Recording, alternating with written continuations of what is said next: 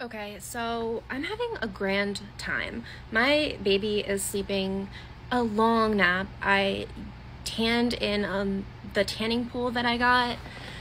I'm just having a nice a nice time.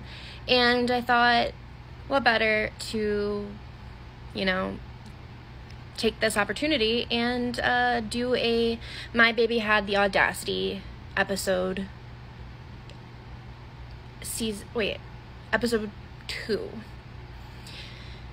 okay. Um, because, you know, gossip is part of my healing process. So, yeah. Okay, my baby daddy had the audacity to cheat on me with a 75 year old woman. So, when he worked at this one factory job, he um, would talk about this old lady named I'm sorry, I'm not going to say her name out loud, but I'm going to tell you that she had the name of an insect. And that's why it like stuck in my head because it was a weird name. And so he used to always say that late that old lady like really likes me and people like make jokes about us dating and blah blah blah. I didn't think anything of it. I didn't think it was like a warning flag because at that time I didn't know he was a disgusting sex addict narcissist. So it didn't like, but I always like remembered it because of her name. So then one day, when I start like shit starts to hit the fan, I realize he's like cheating on me a lot. I searched his car. So I'm searching his car.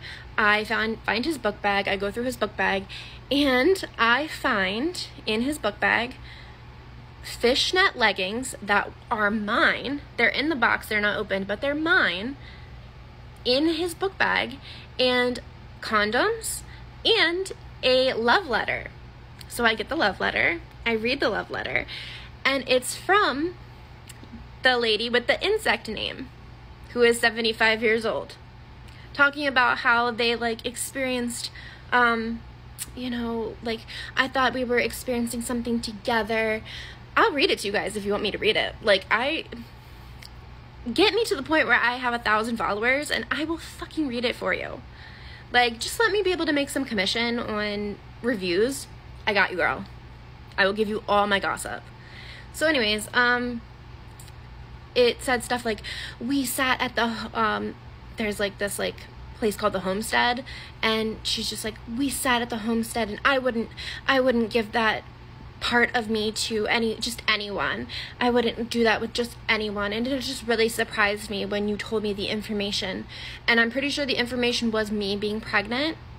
And um, then it says I just I had no idea that you were seeing her and things were serious and um, I thought we had a real connection and to please just let the next the next woman know who you really are.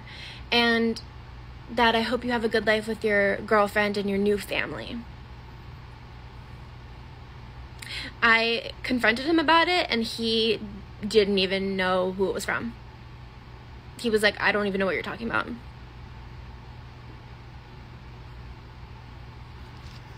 So, I'll be back.